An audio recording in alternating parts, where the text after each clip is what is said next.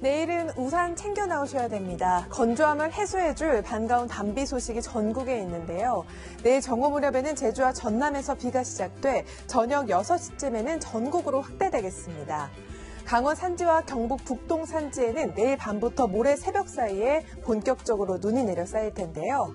제주와 남해안에는 최고 80mm, 제주 산지 많은 곳에는 120mm, 영동과 충청 이남에는 10에서 40mm의 많은 비가 쏟아지겠고요.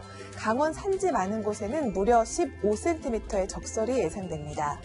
강풍도 여전히 비상입니다. 내일도 해안과 내륙에는 초속 10m 안팎의 강한 바람이 예상되는데요. 내일 바다의 물결은 남해와 서해 먼바다에서 최고 4m까지 매우 높게 일겠습니다. 내일 아침 기온 서울과 대구가 7도 등으로 평년과 비슷한 기온 보이겠고요. 한낮에는 전국이 15도 안팎까지 오르고 오늘보다는 다소 낮겠습니다. 바람이 강해서 쌀쌀하겠습니다. 비가 그치고 수요일에는 북풍이 불어들면서 반짝 추워지겠습니다. 목요일부터는 다시 기온이 오르면서 봄 기운이 더욱 깊어질 전망입니다. 날씨였습니다.